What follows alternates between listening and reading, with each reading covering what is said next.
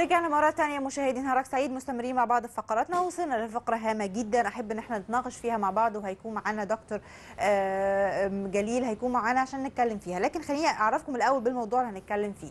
عقدت جامعة عين شمس أمس وأول أمس آه، مؤتمر أو المؤتمر آه، هو الأول من نوعه وهو مؤتمر لشباب المؤرخين في مجال التاريخ الحديث والمعاصر.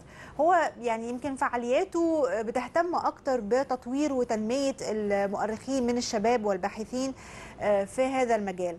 اشترك فيه عدد كبير من الشباب. من الجامعات المختلفة من آه، المراكز البحثية المختلفة في مصر. وكان في نقاط كتيرة جدا ومناقشات كتيرة جدا دارت داخل المؤتمر. خلينا نعرف إيه تفاصيل أو التفاصيل اللي دارت حوالين هذا الموضوع في المؤتمر مع ضيفنا الموجود معانا النهارده في الاستوديو المؤرخ الدكتور جمال شقرة مدير مركز بحوث الشرق الأوسط والدراسات المستقبلية. صباح الخير يا فندم. صباح الخير يا فندم. أهلا بحضرتك. دكتور جمال حضرتك منورنا في استوديو نهارك سعيد يا في. الأول أتكلم معاك عن بداية فكرة إقامة مؤتمر زي ده أو مؤتمر اللي هو الأول من نوعه تقريبا اللي بيهتم إن هو يقيم مؤتمر لمناقشة آه، آه، تنمية وتطوير الشباب المؤرخين والباحثين في مجال التاريخ الحديث والمعاصر. آه، كلمني عن بداية الفكرة تقريبا كانت إمتى وإزاي تم التفكير فيها لإقامة هذا المؤتمر؟ هو الحقيقة إن إحنا عندنا مشكلات كتيرة في البحث العلمي. امم من هذه المشكلات إنه الباحث في آه، العلم اللي أنا متخصص فيه اللي هو علم التاريخ آه، ممكن يستمر لأكثر من عشر سنوات أو أقل قليلا أو أكثر قليلا دون أن يحتك احتكاك مباشر بالمؤتمرات المحلية أو الإقليمية أو العالمية فبيظل حبيس آه، كتبه أي. وأبحاثه وده أبح- ده بحثه للماجستير أو للدكتوراه. ولا يشارك يعني لا يسمح له بالمشاركة في مثل هذه المؤتمرات. يعني ما بيتمش تبادل ثقافات ولا احتكاك نادر علمي جدا نادر. جدا ومسائل فردية أو حالات فردية. طبعا. ولذلك أنا فكرت في إنه نعمل مؤتمر فقط لشباب الباحثين في علم التاريخ. جميل. في فرع معين اللي هو فرع التاريخ الحديث.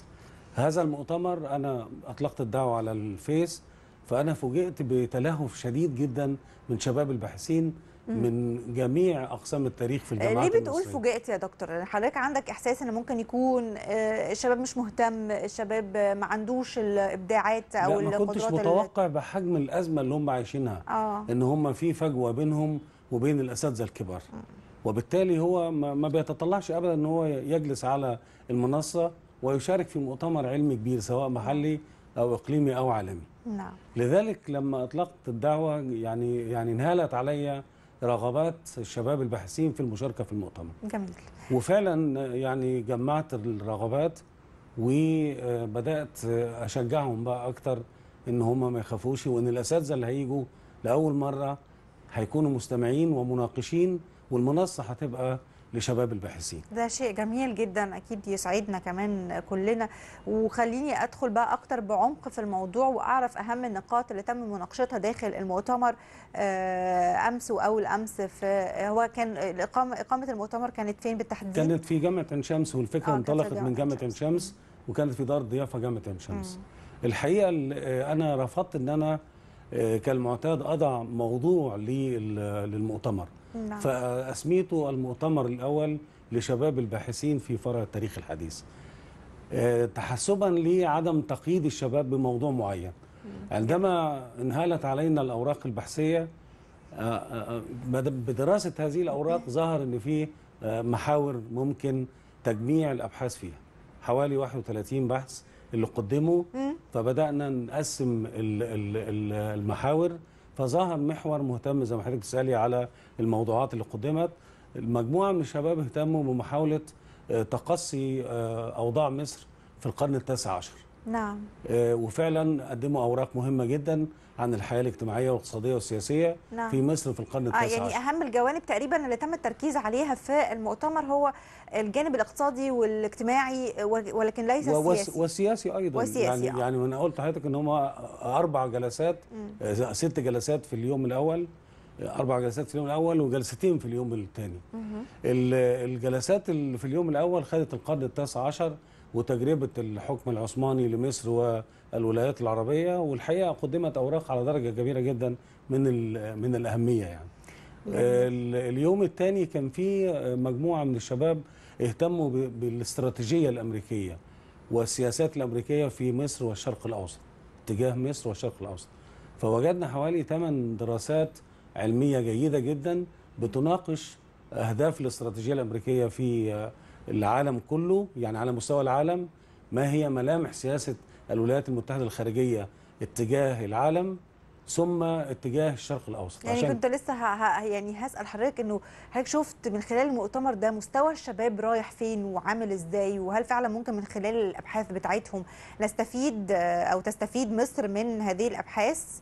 أكيد طبعا يعني هو أي بحث علمي المفروض إن هو له مردود على المجتمع نعم ودراساتنا العلمية المفروض إن هي بترفع لصناع القرار أو. يفترض إن صانع القرار مفروض. سواء كان وزير اقتصاد لو بنشتغل تاريخ اقتصادي اجتماعي أو وزير الخارجية لو بنشتغل علاقات دولية تاريخ علاقات دولية أو رئيس الجمهورية حتى لو إحنا بنتناول قضايا أمن قومي مفروض إنه آه، بتلفت نظرهم مثل هذه الدراسات فده مهم يعني الدراسات اللي قدمت كلها. الحقيقة يعني مثلا الدراسات الخاصة بالاستراتيجية الأمريكية ده شيء خطير جدا إنه في مقارنات بين ما يجري الآن على أرض الواقع من سياسة أمريكية تستهدف تفتيت المنطقة وبين آه، مراحل تاريخية أخرى لعبت فيها الولايات المتحدة الأمريكية أدوار متشابهة يعني. نعم. طب وال... يعني ممكن نتعرف أكتر على اهم مثلا المشاكل أو الصعوبات اللي ممكن تكون بتواجه آه، شباب الباحثين والمؤرخين آه، آه، عموما في التاريخ آه، الحديث أو المعاصر يعني أي- يعني من الحقبتين يعني تقريبا تمام يعني دي دي أحد المشكلات آه. إن هو لا يتدرب على مواجهة الجماهير لا يتدرب على مواجهة الأساتذة ومناقشتهم فيما يفكر فيه أو في نتائج أبحاثه حتى يعني بيظل هو زي ما أنا قلت حبيس آه، مرحلة تجربته. آه لكن لكن في مشكلات بقى نوعية خاصة بالباحث في التاريخ الح- الحديث والمعاصر اللي هو عدم قدرته على الوصول إلى الوثائق وثائق الدولة. ودي مشكلة كبيرة جدا من المشاكل اللي بتعطل البحث العلمي في التاريخ الحديث آه، لأنه آه، رغم وجود قانون لإتاحة الوثائق لكن المسألة آه، وثائقنا الحقيقة ليست في متناول الباحثين. يعني أعتقد إنه المشاكل دي ممكن يتم معالجتها إزاي؟ هل بالمؤتمرات المستمرة اللي من النوع ده ولا ممكن تكون يعني يتم معالجتها بأي شكل من الأشكال؟ لا هو طبعا إحنا يعني في إحنا في حالة صحوة. نعم. على مستوى ال- الحركة الاجتماعية والسياسية إحنا عايشين مرحلة آه، أكثر من رائعة وبالتالي مثل هذه المشكلات بدأت تنتبه لها الجامعات المصرية وبدأت وزارة التعليم العالي بتنتبه لمعالجة مثل هذه المشكلات وفي قانون خاص بالوثائق قانون جديد وأعتقد أن هو هيعرض على مجلس الشعب إن شاء الله جميل. ويقر بحيث يدي آه، آه، يعني مرونة شوية في الاطلاع على الوثائق أسوة بالدول الأجنبية يعني الوثائق آه. البريطانية بيفرج عنها بعد 30 سنة الأمريكية بعد 20 سنة المفروض في آه. وثائق دلوقتي مالية النت آه، إحنا بقى وثائقنا المحلية يجب الإفراج عنها أيضا المؤتمر خلاص كده يعني آه، ما ما فيش أيام تانية هيتم انعقاد المؤتمر فيها ولا هو كان بس أمس وأول أمس؟ هو كان يومين بس لكن خرجت عنه توصيات مهمة جدا آه، يمكن أهم هذه التوصيات استمرارية آه. المؤتمر آه. يعني يعقد سنويا. حلو جدا وتحت هذا جداً. المسمى أيضا المؤتمر الأول الأول يبقى المؤتمر الثاني لشباب الباحثين. إن شاء الله. وفي توصية تانية بتعميمه على آه، جميع التخصصات الأخرى. يعني حتى داخل فروع علم التاريخ يبقى في مؤتمر خاص بالتاريخ الإسلامي التاريخ القديم لشباب الباحثين أيضا. آه، أو أو في أي مجال بحثي علمي يمنح الشباب فرصة بحيث يقدروا يعبروا عن آرائهم بحيث. يقدموا أوراق بحثية. وبديهي إنه يبقى فيها أخطاء وبديهي إن يبقى فيها بعض القصور. هنا دور الأستاذ الكبير إن هو يعالج ده يحكمه يمكن كمان من التوصيات المهمة قوي مسألة نشر ال ال الأبحاث الخاصة بالمؤتمر. يعني إحنا بصدد آه، تحكيم هذه الأبحاث وضبطها لنشرها في كتاب مجلد يصدر بنفس العنوان ده أعمال المؤتمر العلمي الأول نعم. لشباب الباحثين فرع التاريخ الحديث. ال- إزاي ممكن يتم التعامل مع ال- العمل البحثي في مجال التاريخ الحديث والمعاصر خصوصا إنه في بعض الحقب اللي فيها اللي بتحتوي على أحداث كتير وروايات كثيره جدا المفروض إنه يتم تأريخها يعني. ال- الباحث ده محترف. نعم. يعني الباحث اللي إحنا قدمناه آه، وشارك في المؤتمر هو باحث معد فعلا لكتابة بحث علمي في مجال التاريخ.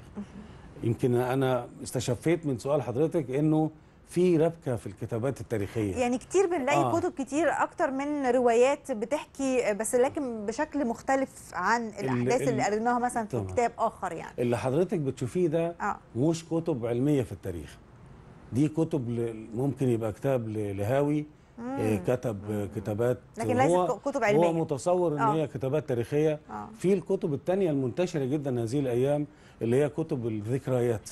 نعم. إن واحد بيسجل ذكرياته عن حدث. آه. نزل التحرير شارك في الثورة فبيسجل ذكريات. دي كتب انطباعية أو ممكن نعتبرها شهادات وفيها عيوب كتيرة جدا.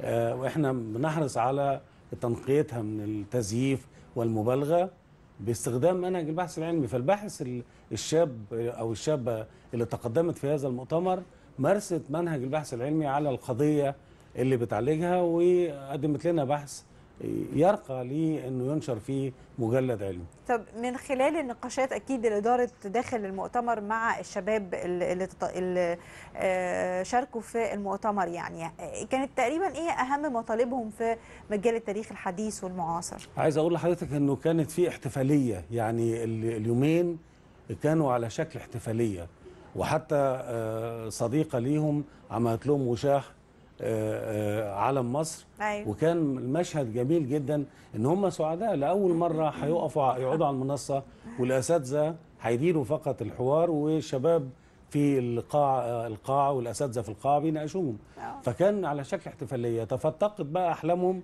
في إنه تتكرر آه، مثل هذه المؤتمرات تنشر أعمالهم البحثية ممكن مد ال- ال- العمل ده إلى التخصصات الأخرى. من خلال تكوين لجنة للإشراف على المؤتمر القادم والمؤتمرات القادمة هتفتق ذهنهم عن معالجة كثير من القضايا اللي ب... والعقبات اللي بتواجههم. الأجمل من كده إنه آه، آه، شاركنا آه، رئيس الجمعية المصرية للدراسات التاريخية واتفقنا على عرض النتائج الخاصة بهذه الدراسات على الجمعية التاريخية وعلى لجنة التاريخ في المجلس الأعلى للثقافة لدراسة التجربة وإمكانية آه، تنميتها وتكرارها. ده جميل جدا. طب يعني هل هل من الممكن إن يكون في إمكانية تم مثلا عمل مناظرة بين الشباب اللي تم آه، اللي هم شاركوا في المؤتمر وما بين مثلا المراكز البحثية الأخرى آه، هل في حاجة زي دي ممكن تحصل من خلال السنة اللي هيتم فيها إن شاء الله المؤتمر الثاني من هذا المؤتمر اللي اقيم لأول مرة السنة دي؟ في توصية من التوصيات إنه يعني توصيل آه، نتائج هذه هذا المؤتمر إلى المراكز البحثية المختلفة وتوصيل نتائج إلى حتى ال- الجامعات العربية والجامعات الأجنبية ومد جسور التفاهم والتعاون مع هذه المراكز والجامعات أخيرا بس عايزة أطمن إنه أكيد يعني المؤتمر ما واجهش أي صعوبات في إقامته أو آه، آه، يعني تعرقل مثلا كده آه، في إن أنتوا تقيموا المؤتمر سواء كان قبل أو يمكن بعد مثلا فكرتوا إزاي ممكن ده ما يبقاش عقبه أمامكم إن شاء الله في إقامة المؤتمر الآخر السنة ال- الجاية. الحقيقة رئيس جامعة عين شمس ونائب رئيس الجامعة آه.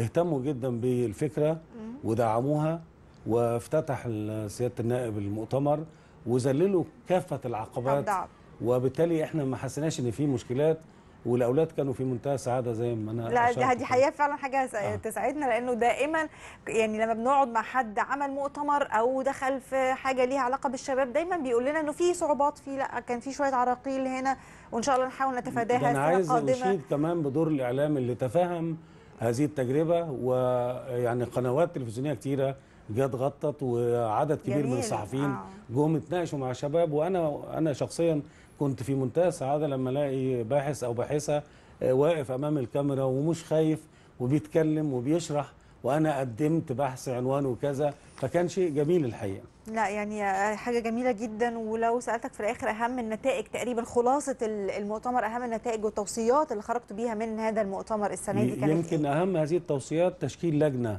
بضم آه، عضو واحد من كل قسم من أقسام التاريخ على مستوى الجامعات المصرية لمتابعة تنفيذ المؤتمر المؤتمرات القادمة. ونشر الأبحاث ودي يمكن دي العقبة اللي هتقابلنا إنه الأبحاث هتتكلف كثيرا عشان تنشر. لكن في توصية بنشر الأبحاث في توصية لزياده التواصل بين شباب الباحثين على مستوى الجامعات المصرية كلها ومد جسور التعاون مع الجامعات ومراكز البحث على مستوى العالم العربي وعلى مستوى العالم. كله. شكرا دكتور جمال على وجودك معانا. وجود لك يعني بكل التوفيق إن شاء الله في المؤتمر القادم. وشبابنا دايما مبدع وإن شاء الله دايما أكيد. يكونوا في الصدارة. شكراً يا لحضرتك. مشاهدينا شكراً كان. معانا المؤرخ الدكتور جمال شقرة مدير مركز بحوث الشرق الأوسط والدراسات المستقبلية. آه لسه معانا فقرات أكتر. خليكم معانا بعد الفاصل. ونهارك سعيد.